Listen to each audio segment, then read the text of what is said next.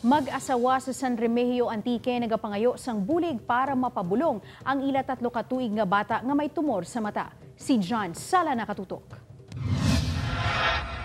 Tuman ang pagtinguha sa mag-asawa nga Jose kag Annelie Armonio sang Ramon Magsaysay San Remigio Antique nga matatapan ang pito nila ka mga kabataan.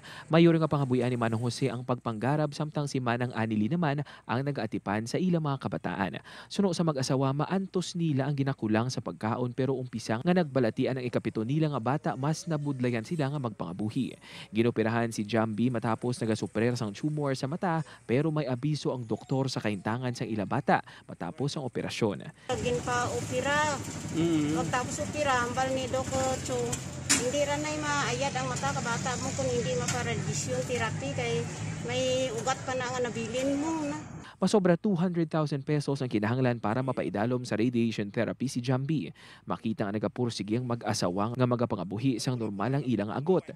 Gani nagapangayo sila sang hamili nga bulig sang may mga bulawanon nga tagipusoon. Bata ako, buligin ninyo kami. Gugal pangayo ako kabulig ka ninyo. Sa mga luyag magbulig kay Jambi mahimo makipag-angot sa pamilya sa cellphone number 0906-7814-894 o kung sa One Western Visayas Hotline